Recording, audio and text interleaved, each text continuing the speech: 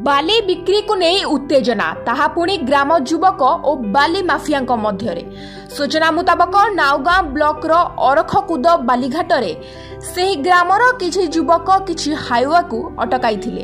ଉକ୍ତ ଘାଟଟି ଡିସେମ୍ବର ମାସରେ ନିଲାମ ହୋଇଥିଲା। ଉକ୍ତ ଘାଟଟି ଶକୁନ୍ତଳା କାବୁଙ୍କ ନାମରେ ହୋଇଥିଲା। କିନ୍ତୁ କିଛି ବାଲି ମାଫିଆ ତାଙ୍କ ନାଁକୁ ବିକ୍ରି କରି ଛଅ ମାସ ହେବ ଚଳାଉଛନ୍ତି ଘାଟ। ସରକାରଙ୍କ ରାଜସ୍ୱକୁ ଫାଙ୍କି ଚଳାଉଛନ୍ତି ଘାଟ। ଦୈନିକ ଶହ ଶହ ବାଲି ଟ୍ରିପ୍ ବିକ୍ରି ହେଉଥିବା ବେଳେ ଆଖି ପଡ଼ୁନି ପ୍ରଶାସନର।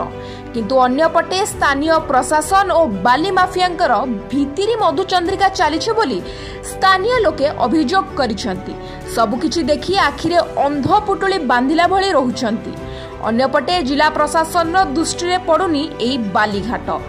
କେବେ ରାଜସ୍ୱ ଦେବେ ବାଲି ମାଫିଆ ତାହା ଦେଖିବାକୁ ବାକି ରହିଲା। ନାଉଗାଁରୁ ସୂର୍ଯ୍ୟକାନ୍ତ ବେହେରାଙ୍କ ରିପୋର୍ଟ ନ୍ୟୁଜ୍ ଇଲେଭେନ୍ ଓଡ଼ିଶା।